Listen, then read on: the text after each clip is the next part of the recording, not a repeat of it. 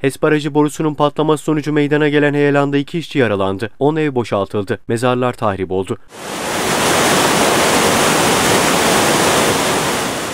Erzurum'un Tortum ilçesinde Pehlivanlı ve Bağbaşı mahalle yolu ayrımının 500 metre ilerisinde HES işletmesine ait 2200'lük borunun patlaması sonucu heyelan meydana gelerek yolun kapanmasına neden oldu. Heyelan sonrası olay yerine giden HES işletmesinde çalışan işçiler heyelan bölgesinde gelen sel nedeniyle hafif yaralandı. Yaralılar Erzurum ve Uzundere hastanelerine kaldırılarak tedavilerin tamamlandıktan sonra taburcu edildi.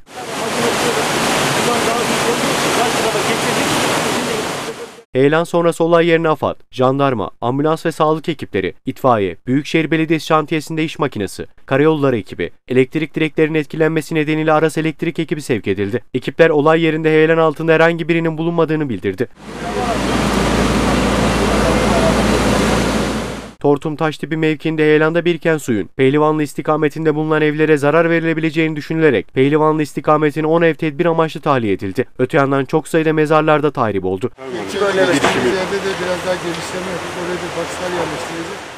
Erzurum valisi Okay Memiş ve beraberindekiler heyelan bölgesinde incelemelerde bulundu. Vali Memiş incelemenin ardından açıklamalarda bulundu. Buradaki bir hidroelektrik santralinde HES'te boru patlaması sonucu bir heyelan meydana geldi. İki tane HES'in işçisi de yaralandı. Allah'tan hayati tehlikeleri yok.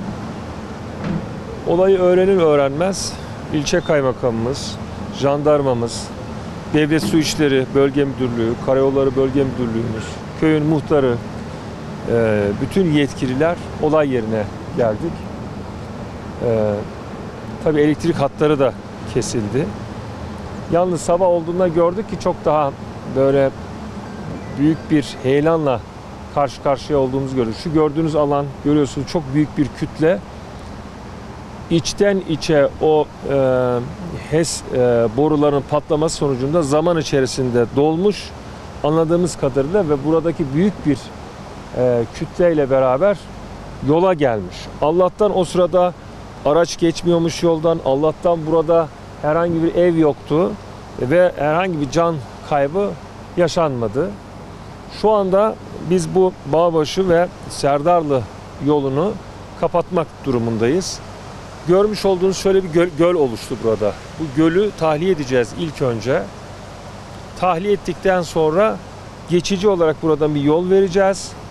Ee, ondan sonra ise bu işte elektrik hatlarını vesairesini hepsini tekrardan tamir edeceğiz. E, hayatı normale döndüreceğiz inşallah. Tabi HES'in kusuruyla ilgili olarak da hem idari hem de adli her türlü soruşturma başlatıldı.